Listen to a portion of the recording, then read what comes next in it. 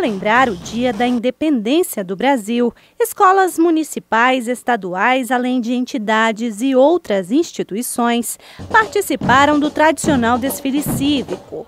O evento, que não acontecia em Rolim de Moura há dois anos, foi realizado no estádio Ângelo Cassol. Hoje é uma data muito importante para a nossa história, né, na história do Brasil. Rolim de Moura já vem fazendo desfiles, infelizmente os dois últimos anos não teve. Esse ano a gente inovou, veio fazer o desfile aqui no, no estádio, para tentar ter um pouquinho mais de comodidade para as crianças e para o público em geral que vai estar assistindo, né?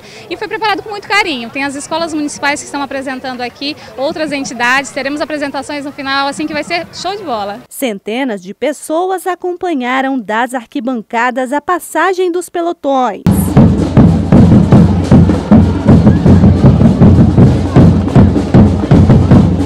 Um dos destaques foi a fanfarra da Escola Cândido Portinari.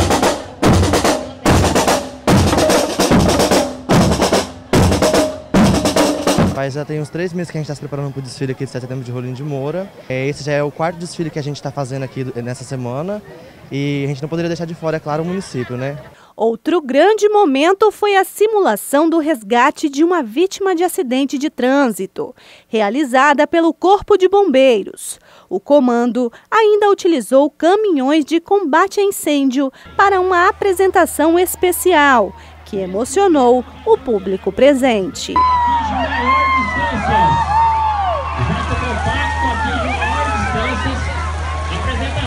No Corpo de Bombeiros de Rolim de Moura com todo carinho para o senhor. Com o público muito bem acomodado, com a visão em 360 graus, então vai proporcionar com que o público possa ver todas as apresentações de uma forma muito fácil, né?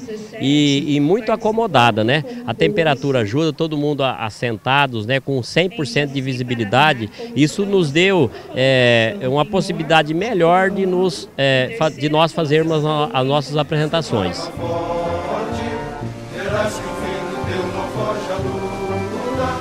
Nem teme te adora a própria morte.